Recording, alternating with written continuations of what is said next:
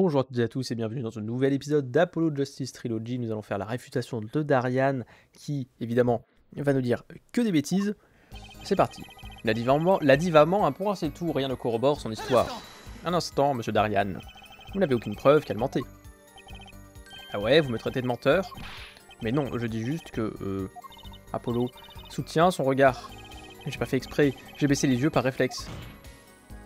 Inspecteur Crescent. Ouais, euh, que lui voulez-vous? Hmm, Rien. Mais Apollo, relève-moi ce menton et ce dos. Tu t'as fait, t'affaisses là. Ce type est froid comme un glaçon. En comparaison, oui, a l'air d'un enfant de cœur. La diva n'a pas pu reconnaître ma voix, c'est tout. Hmm. Elle n'a jamais entendu ma voix. Un instant. Vous ne lui avez jamais parlé alors que vous étiez dans le même concert? Pas un mot. En tout cas, je m'en souviens pas. Mais est-ce que vous n'avez pas eu des répétitions ou autre chose Gavin s'est chargé de tout ça. D'accord. Darian n'a assisté à aucune des réunions avec elle. Arc. Comme si on pouvait se rappeler de la voix des gens comme ça. Il faudrait être idiot pour croire ça. La miroir a l'ouïe très fine. Si elle l'a entendu, alors elle se souvient de lui. Mais je ne peux pas le prouver. Euh, T'entends les, voix des gens, tu les reconnais. Hein. Il me faut des preuves. Les coups de feu lui ont fait oublier les paroles. Mon œil. Bah, euh, si, quand même. La table de mixage a montré qu'elle a manqué des paroles. Il y a eu erreur, c'est sûr, mais dire que c'est à cause des coups de feu, allez, mais qu'est-ce que vous voulez dire? La table de mixage prouve quoi? Une erreur dans la chanson? Un signal manqué? Et alors Elle a bouffé un mot, c'est pas un crime? Elle a inventé l'histoire des coups de feu pour protéger le gosse et couvrir sa bévue. Je la féliciterais si, si elle n'avait pas essayé de me faire couler en même temps. Darian, attention à ce que vous dites. La miroir est une artiste. Ouais, essayer de me faire couler en même temps, faut faire gaffe. Hein. Elle a bouffé un mot. Non, bouffé un mot. L'accusation est forte pour une personne de sa trempe. Et elle t'a bien envers-côté, toi aussi. Ça se voit dans tes yeux. Ces trucs sont tellement prétentieux, ça me passe au-dessus de la tête. Je crois déceler une dissension dans le clan des Gaviners. Et puis elle est trop proche de l'accusé. Son témoignage n'est pas fiable. Moi, j'accorde plus de crédit à la version de l'inspectrice Sky. Évidemment. De toute façon, Emma Sky les a entendus pendant la troisième partie, non? Oui. Il est vrai, on va quand même pas utiliser les, les pétards dès le début. En fait, j'étais là-bas moi aussi. Mais c'est ce qu'on dit. Donc, vous les avez entendus aussi. Les coups de feu.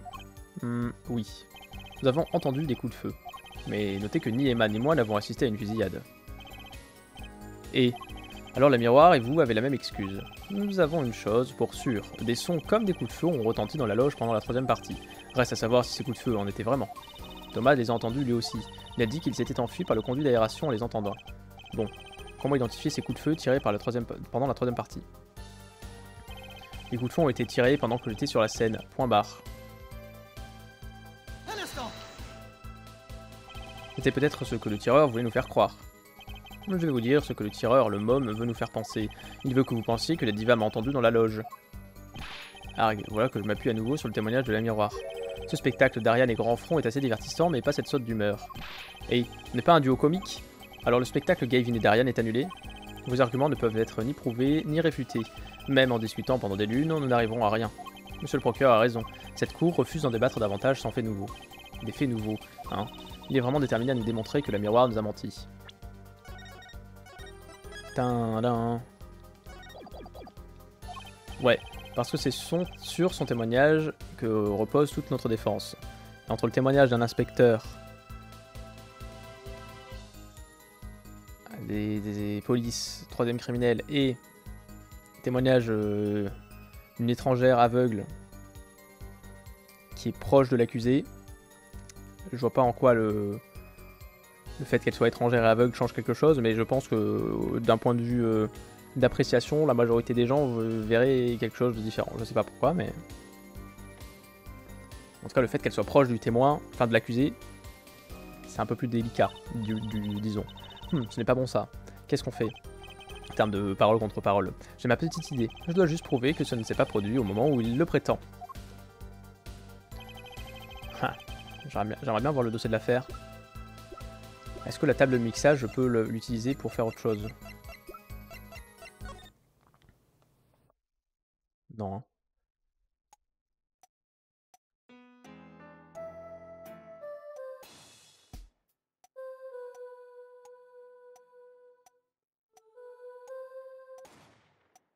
Ah bah attends. On l'entend clairement.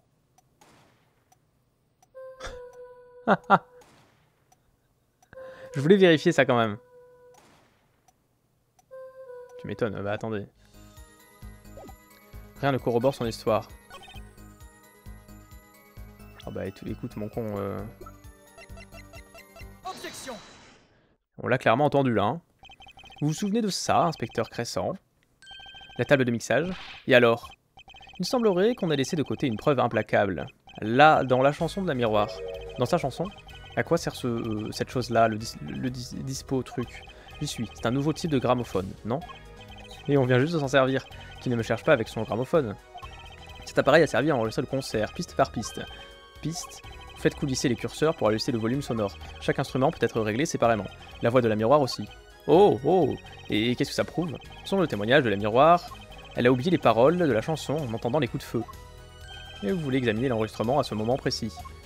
On entendra peut-être même les coups de feu, bah oui, évidemment. Précisément. Ridicule. Et comment on entendrait des coups de feu dans la loge depuis la scène Auriez-vous oublié d'Ariane? On portait tous ses oreillettes. Oh, on était tous concentrés sur notre musique, mais l'oreillette aurait quand même capté ce que le miroir a entendu. Qu'entendons-nous pour analyser l'enregistrement? Faisons le tout de suite. La miroir a cessé de chanter quand elle a entendu les coups de feu. Si je trouve ce passage, je trouverai les coups de feu. Bah, on l'a trouvé déjà le passage. Hein. Hop, hop, hop. Voilà. Donc euh, moi je mets pause. Prends ça dans la gueule, hein. Votre honneur, écoutez attentivement ce passage. C'est la partie chantée par la miroir.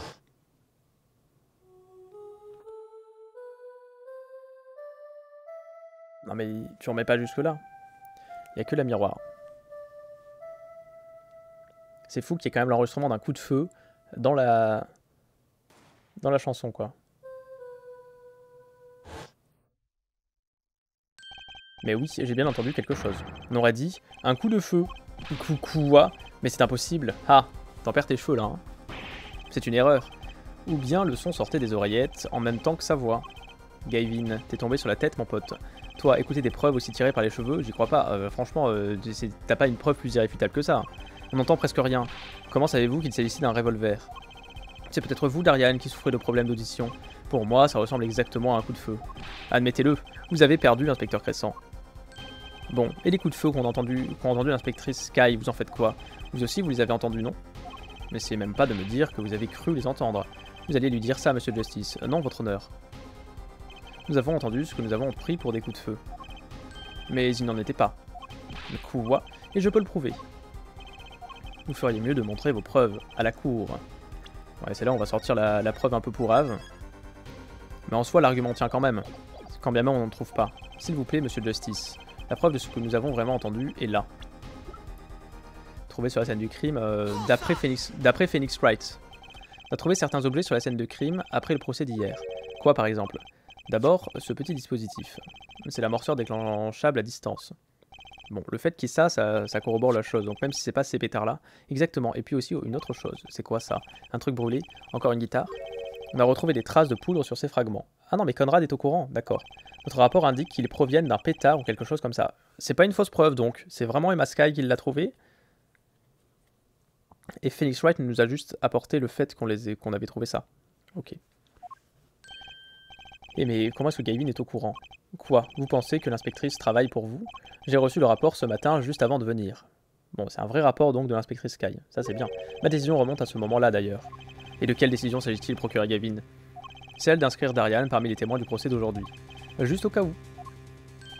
Ah, ça soulève une autre possibilité, celle que les bruits de coups de feu entendus pendant la troisième partie aient été causés par un pétard déclenché grâce à une télécommande à distance.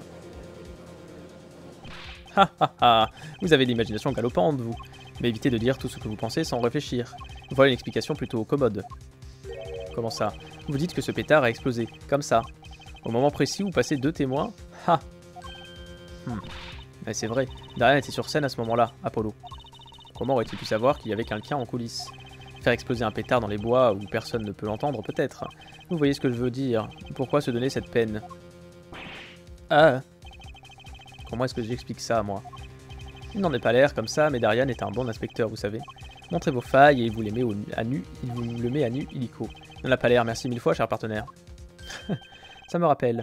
J'ai traversé ce couloir à plusieurs reprises ce jour-là, et j'ai remarqué quelque chose d'étrange juste avant la troisième partie. Quelque chose euh, d'étrange? Une oreillette, comme celle qu'utilise le groupe et le personnel du concert. Oui, on est d'accord, on l'a vu aussi. C'est vrai? On l'a ramassé devant la porte de la loge. Et comme ça, il l'entend qu'il y a des gens. Et si l'oreillette n'avait pas été égarée mais placée Et s'il avait été activé? On aurait pu entendre ce qui se passait dans le couloir, même depuis la scène. Ah. Merde. Tu dans quel camp, Gavin Le celui de la vérité, Darian. Écoutez, Darian, il n'y a pas de camp dans une cour de justice. De toute façon, je pense que les preuves se tiennent. Des coups de feu ont bien été entendus pendant la deuxième partie, ce qui corrobore le témoignage de la miroir. Euh... Et oui, Darian Crescent, Silence. Donc elle disait vrai à propos de ce qu'elle a entendu. C'était l'autre homme qui parlait, pas Monsieur Le Touze. Alors nous vous écoutons. C'est fini. Appuie sur le bouton. Maintenant. juste après ça, il y a eu un coup de feu. Puis la guitare s'est enflammée. Le problème, c'est qu'il y a eu un... Il y a un complice, du coup. Parce que c'est pas Monsieur Le Touze, forcément, qui appuie sur le bouton. Inspecteur Crescent. Vous n'étiez pas sur scène pendant la deuxième partie. C'est qui le complice pour dire que c'est fini? Appuie sur le bouton. Il y a un complice. Vous êtes suspect. Hmm. Mais pourquoi n'a-t-on entendu qu'un coup de feu sur l'enregistrement? Deux balles ont été tirées avec ce revolver si je ne m'abuse. La miroir marchait dans le couloir d'aération, votre honneur. Elle ne devait pas être assez près pour que son micro capte le premier tir. Mais ensuite, alors qu'elle a passé au-dessus de la loge... Ah, un autre coup de feu a été tiré, celui qui a coûté la vie à Monsieur Le Touze. Alors, inspecteur Crescent Euh, su, su, su, à grosse goutte. Je viens encore de me souvenir de quelque chose. Hein Notre performance ce jour-là, performance. Voir la table de mixage m'a rappelé quelque chose. Vous y étiez aussi, monsieur Grandfront. Eh oui. Il y a des jours où les problèmes se succèdent avec une régularité, déconcertante. Ma moto est en panne. L'étude de ma guitare est en miettes. Ma guitare s'est enflammée. Et cerise sur le gâteau, quelqu'un est mort. Sans parler de ta performance de tout à l'heure. Mais qu'est-ce qui t'a pris? Cette partie-là sonne faux. Laquelle? Hmm, Numéro 2, la seconde guitare. Ah C'était toi, Darian. Ça m'a paru bizarre sur le coup. Comment aurais-tu pu manquer un signal aussi évident Je te connais et je sais comment tu joues. Tu es meilleur que ça Ouais, bon, j'ai... Vous avez quoi, procureur Gavin? De quoi parlez-vous? Je parle de l'arme du crime, le calibre 45 de Monsieur le Touze. Ah, il s'est pété l'épaule, le con. Comme nous l'avons appris, ce genre de revolver est un risque même pour le tireur. Le recul est assez puissant pour déglinguer l'épaule d'un amateur. Attendez, vous voulez dire qu'il a eu du mal à jouer parce qu'il s'est blessé en tirant? Ah, vous avez oublié quelque chose. Oui, inspecteur Je suis un policier entraîné, je sais me servir d'une arme à feu. Eh bien, je suis loin d'être un amateur. La police a adopté le calibre 38, un monstre plus maîtrisable, et l'arme du crime appartenait à la victime, Monsieur le Touze. Ce qui suggère que la victime et son assassin se sont battus, et que le tueur tenait peut-être mal le revolver au moment de tirer. C'est bien ce que vous voulez dire, non? J'y avais pensé, en effet. Ah. Le témoin a-t-il quelque chose à dire à ce propos? Inspecteur Crescent, J'aimerais savoir ce qu'en pense le mec aux manches retroussées là. Et vous, l'avocat Euh, moi Parmi vos preuves, laquelle qualifierez-vous de décisive Vous avez un son quelconque sur une cassette, et un présumé signal de guitare manqué à cause d'un recul d'un calibre 45.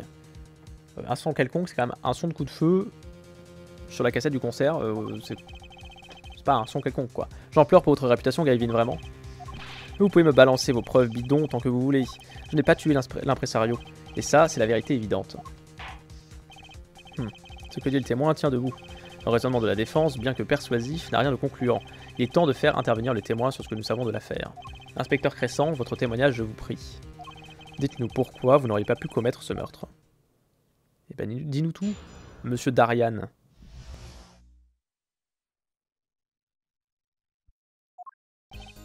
Enfin, pourquoi voudrais-je tuer l'impresario? Vous voulez une raison Fastoche. Je n'en ai, je n'ai aucun mobile, mon pote. C'était la première fois que la diva mettait les pieds dans ce pays, non? Comment aurais-je pu connaître son impresario? Et si je ne le connaissais pas, pourquoi aurais-je voulu le tuer? Hmm. voilà, une, raison des plus simples, en effet. N'y a pas besoin d'une raison pour tuer quelqu'un? Enfin, n'y a, a, aucune raison pour tuer quelqu'un, mais... je, je sais pas. S'il faut toujours un mobile. Pour faire un meurtre, a priori. Il faut une raison. Je sais pas. Procureur Gavin, est-ce vrai? Monsieur Tous n'était jamais venu dans ce pays.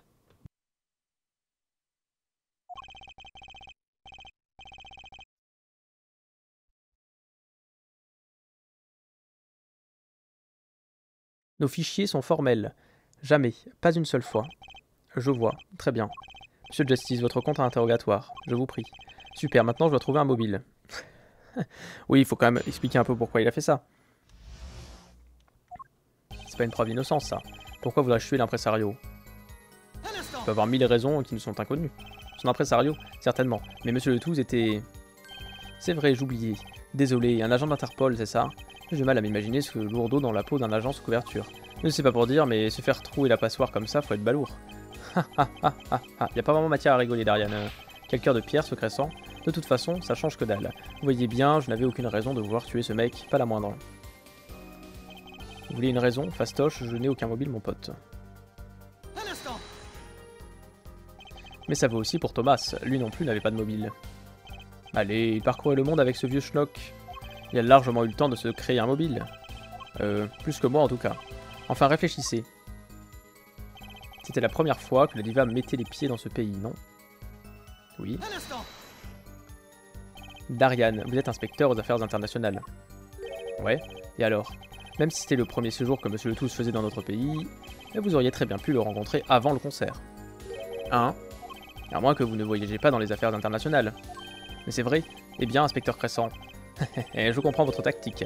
Mieux vaut passer à table alors. Passer à table? Ouais, ça me gêne un peu, mais je n'ai jamais mis les pieds à l'étranger. Quoi? Mais vous êtes affecté aux affaires... L'avion et moi, on ne s'entend pas des masses, surtout en l'air. Toutes mes condoléances, monsieur Grandfront, mais il dit la vérité. Il n'a jamais quitté le pays, je vous le garantis. C'est simple, ma division est aussi un tas d'affaires à régler sur place. C'est vraiment trop injuste. C'est honteux. Comment aurais-je pu connaître son impresario? Vous deux n'avez donc pas fraternisé du tout pendant le concert. Fraternisé Ha On n'a pas échangé un seul mot. Qui pourrait bien vouloir converser avec ce vieux crétin de l'Est? Par contre, pour les gonzesses de l'Est, là je dis pas. Ok, d'accord.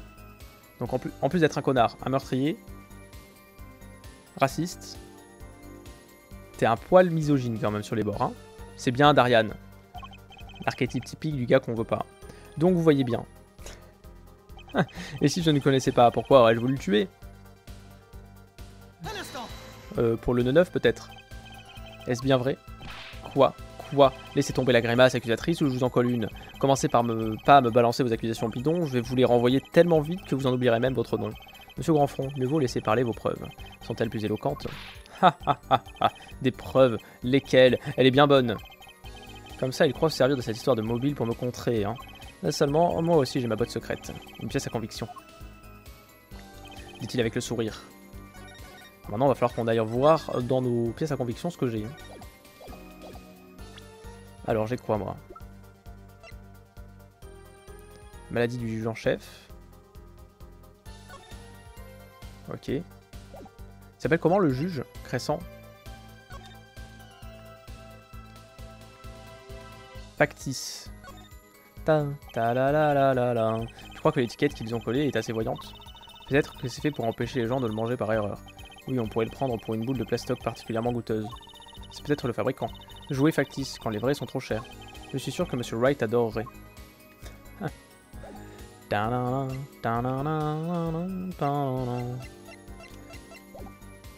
Enfin, pourquoi devrais-je voudrais-je tuer l'impresario? Ça dit quoi par rapport à l'œuf? Copie d'un cocon dont on extrait un remède contre l'incuratis. Pourquoi j'ai voulu le tuer? Bon, on va dire ça. Objection on va montrer l'œuf, hein. Votre honneur. Jetez un œil là-dessus. Qu'est-ce que c'est? Hmm, On dirait un bonbon. Euh, c'en est pas un. Évitez de le lécher, s'il vous plaît. Inspecteur Crescent, vous avez déjà vu ceci? On dirait un bonbon. Hmm. C'est une pièce à conviction. Ne la léchez pas avant de l'avoir examinée. Mais pour être précis, c'est la réplique d'un cocon. Elle a été trouvée parmi les biens de la victime. Un cocon? Jamais vu un cocon de cette couleur.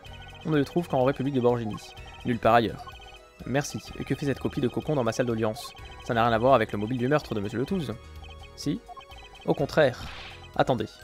En tout cas, je crois qu'il existe un lien. Vous n'avez pas l'air très sûr de vous. Un cocon.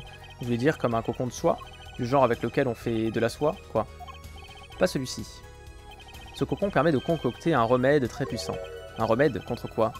C'est un remède surpuissant contre une maladie considérée incurable. C'est le seul médicament de ce genre et il est formellement interdit de le sortir de Borgini. Mais pourquoi donc? Si c'est vraiment un remède miracle, pourquoi n'en fait-on pas profiter le monde entier? Ouais, mais c'est vrai ça. C'est ce que je me demandais aussi. Nous avons profondément étudié la, question. Apparemment, le médicament s'extrait très facilement du cocon. Mais si vous changez le processus d'extraction, même un tout petit peu, vous arrivez à faire des grandes quantités d'autres choses. Un poison mortel. Quoi? Ah bah c'est génial. Un incident s'est produit il y a plusieurs années. Ils sont défendus au marché noir. Bon après c'est logique, hein, le... la frontière entre remède et poison, euh, c'est la dose, comme disaient les blagues. La communauté mondiale en, fait... en a fait un véritable scandale, même si les médias n'ont pratiquement pas eu vent de l'affaire. Hmm, quelle affaire Quoi qu'il en soit, l'exportation des cocons a été formellement interdite. L'interdiction a strictement été mise en application par Interpol, entre autres. Interpol. Précisément. La victime, Romain Letouze, était un agent d'Interpol. Inspecteur Crescent, vous incitez pour lui donner le titre d'impresario, mais c'est trompeur. Romain Letouze n'a pas été tué parce qu'il était impresario, mais parce qu'il était un agent sous couverture. Hmm. Essayez de faire passer cette boule de gomme en contrebande dans ce pays. C'est ça votre raisonnement? Je dis juste que ça pourrait constituer un bon mobile de meurtre. Oh, et j'allais la vendre au marché noir pour me faire un paquet d'oseille. de plus en plus ridicule, totalement impensable. Impensable, dites-vous Pourquoi donc? Peut-être aurions-nous besoin d'un autre témoignage, à propos du passage en fraude de ce cocon. Et on repart sur une déposition de témoins. Plus on avance dans des, dans des dépositions de témoins, plus ils s'embourbent. Les affaires internationales ont reçu un mémo sur ces cocons. Interpol nous en a fait tout un plat. Impossible de les vendre au marché noir. Trop risqué. Ouais, le trafic de cocon ne paye plus. Attends, je bosse aux affaires internationales, je connais la musique. Comment ça ne paye plus? Ne paye pas, tu devrais dire. Hmm, c'est le moins qu'on puisse dire étant donné vos antécédents. Interpol voulait s'emparer de ces cocons au point d'envoyer l'agent Le Touze. Vraiment, vous imaginez de ces trucs, vous autres? Mais pour moi, pas question de risquer ma peau. Rien que pour mettre la main sur du pèse de cocon. Il y a des façons plus élégantes de le dire, mais on prend, on prend note. Nos rapports indiquent que les cocons sont la top priorité d'Interpol. Les vendre à une organisation mafieuse serait risqué. Hmm, très bien. Que le contre-interrogatoire commence. C'est le seul mobile dont je dispose. Il complotait quelque chose et je compte bien découvrir quoi. Mais il veut le vendre au, juge en chef? Pour son fils? Tout simplement. Les affaires internationales ont reçu un mémo sur ces cocons. Ok. Un instant. Ce mémo. C'est comme ça que vous avez été mis au courant pour les, pour les cocons.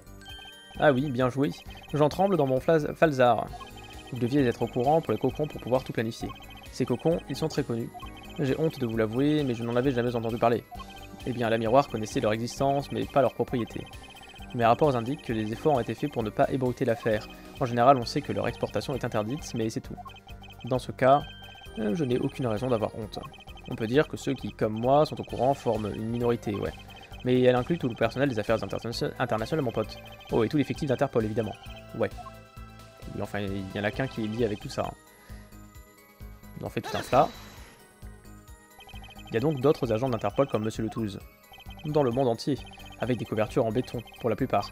C'est pour ça que ces cocons sont trop chauds pour le marché noir. Personne n'a envie d'attirer l'attention d'Interpol sur ces affaires louches. La plupart en ont conclu que c'était... impossible de les vendre au marché noir. Trop risqué risqué. Si Interpol vous trouve, s'il vous arrête, il vous arrête tout de suite. Ou alors un trafiquant vous prend pour une balance et vous fait votre fête. On vit une drôle d'époque. D'accord, Crescent, mais t'es au courant que tu dis rien qui t'arrange là. Hein mais est-ce que la rareté de l'objet n'est pas ce qui fait monter son prix? Ouais, tout comme l'intérêt qu'on lui porte. N'importe quel gangster n'aurait plus qu'une envie, se lancer dans la course. Il vous transformerait le front en passoire sans vous laisser le temps d'objecter. On peut peut-être leur demander de lui couper les cheveux en même temps. Qui est sur le banc des accusés là Mec, faut sortir le dimanche, vous n'avez aucune idée de marche, du marché, vous dites. Vous. Et en quoi c'est une mauvaise chose? N'essayez même pas de me faire porter le chapeau sur ce coup-là. D'accord. Attends, je bosse aux affaires internationales, je connais la musique. Ce qui prouve que vous saviez comment trouver une faille dans le système. Et accusez-moi de n'importe quoi, mais pas les affaires internationales. Il n'y a pas de faille, ok? Vous nous prenez pour des enfants de cœur. Mais ce n'est pas ce que j'essaie de... Hmm. Coucher d'Ariane. C'est comme vous dites. oh, le coucher d'Ariane. Il n'y a pas de faille, en tout cas, pas sur l'affaire des cocons. Les affaires internationales, Interpol et les douanes banginaises surveillent tout. Hein? On connaît notre, boulot, pas comme les petits toutous à leur mémère qui remuent la queue dès que la diva l'ouvre. Hmm. Si je n'étais pas aussi bien élevé... Quoi? Un revers et je t'enrhume. Haha, du calme, vous deux, restons cool. Ah, au diable les bonnes, manières, je veux la peau de ce sagouin et je l'aurai. Cette réplique est forcément la clé du mobile. Il doit y avoir un moyen de découvrir ce qu'il mijotait. Il y a peut-être quelque chose sur, ces, sur ce cocon. Faut pas le casser.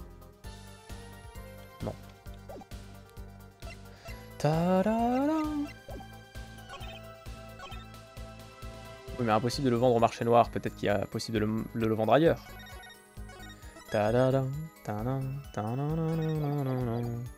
Si je te présente euh, ça. Dans ce cas, pourquoi ne pas prendre un acheteur moins dangereux? C'est ce que je ferai. Mais quelle naïveté Tout le monde est dangereux sur ce marché. Au moment où se serait dévoilé mon, identité de flic, quick, pourquoi le vendre au marché noir? Pourquoi pas à quelqu'un comme ça? Cet article, mais c'est au sujet du fils du juge en chef.